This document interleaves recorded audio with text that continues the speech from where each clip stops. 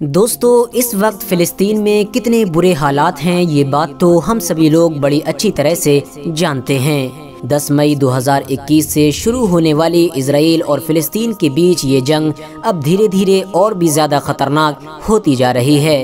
इस जंग में अपनी जान गंवाने वाले लोगों की तादाद अब सौ का आंकड़ा भी पार कर चुकी है। खबरों की माने तो इस जंग में अभी तक मरने वालों की तादाद लगभग 103 के करीब पहुँच चुकी है।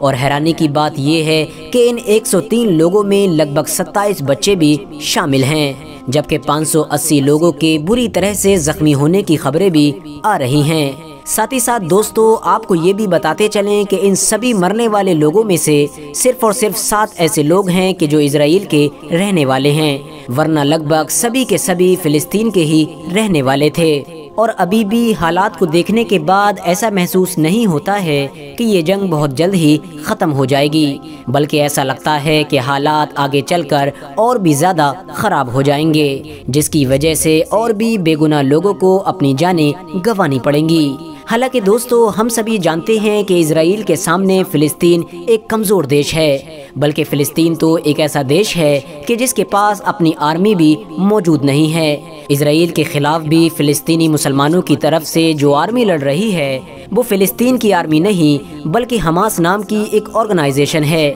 जो न सिर्फ़ एक ताकतवर आर्मी है, बल्कि साथ ही साथ एक ज़बरदस्त पॉलिटिकल पार्टी भी है। वही पॉलिटिकल पार्टी की जो फ़िलिस्तीन के एक इलाके यानी गाज़ा पर हुकूमत करती है। दोस्तों, फ़िलिस्तीन के कमज़ोर होने की वजह ही थी कि जैसे ही इसराइली फ़ौज ने पहले दिन मस्जिद अक्सा में घुसकर फ़िलिस्तीन के मुसलमानों के ऊपर अटैक किया था तो फ़ौरन पूरी दुनिया के लोग मुस्लिम देशों की तरफ़ देखने लगे थे और ये उम्मीद करने लगे थे कि शायद कोई न कोई मुस्लिम देश इसराइल के खिलाफ आवाज़ ज़रूर उठाएगा। और यकीनन उम्मीदों के मुताबिक हमेशा की तरह सबसे पहले जिस इंसान ने इसराइल के खिलाफ अपनी आवाज़ बुलंद की थी, वो कोई और नहीं बल्कि तुर्की के सदर यानी रजब तैयब अर्दोगान थे। रजब तैयब अर्दोगान ने पहले ही दिन खुल्लम खुल्ला न सिर्फ़ इसराइल के इस कदम को गलत बताया था बल्कि साथ ही साथ इसराइल को एक आतंकवादी स्टेट भी घोषित कर दिया था। यानी ये कह दिया था कि इसराइल एक आतंकवादी देश है और उसके बाद इसराइल के खिलाफ रजब तैयब अर्दोगान का साथ देने के लिए पाकिस्तान और ईरान जैसे कुछ और देश भी खड़े हो गए थे। और तब से लेकर आज तक लगातार तुर्की के राष्ट्रपति यानी रजब तैयब अर्दोगान सारे मुस्लिम देशों को इसराइल के खिलाफ इकट्ठा करने की भरपूर कोशिश कर रहे हैं। यहाँ तक के एक दो दिन पहले तो ये खबरें भी आना शुरू हो गई थी कि शायद रजब तैयब अर्दोगान तुर्की की सेना को फिलिस्तीन में उतारने वाले हैं ताकि वो फिलिस्तीनियों की तरफ़ से इसराइल से मुकाबला कर सके। लेकिन दोस्तों, इस खबर की क्या सच्चाई है, इस बारे में अभी तक कुछ भी पता नहीं चल सका है।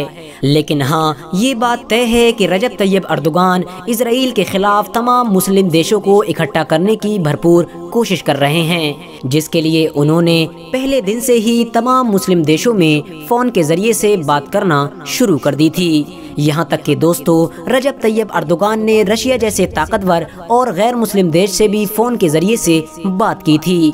और रूस के राष्ट्रपति यानी पुतिन से कहा था कि अब वक्त आ चुका है कि हम इसराइल को उसकी भाषा में ही जवाब दें।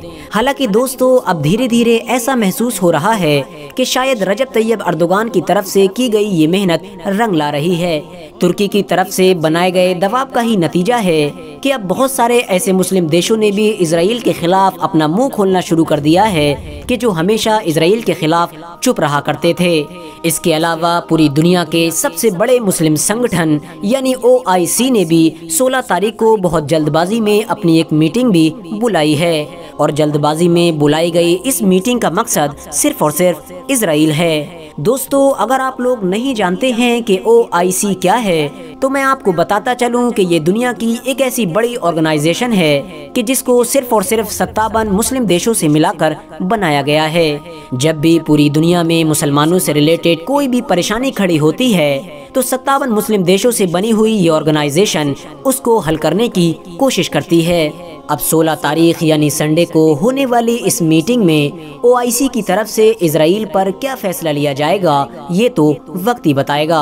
लेकिन हाँ दोस्तों, दूसरी तरफ़ तुर्की के राष्ट्रपति यानी रजब तैयब अर्दुगान और पाकिस्तान के प्रधानमंत्री यानी इमरान खान यूएन पर भी लगातार दबाव बना रहे हैं। और यूनाइटेड नेशन से बार बार ये सवाल कर रहे हैं कि आखिर वो इसराइल के खिलाफ कोई एक्शन क्यों नहीं ले रहा है?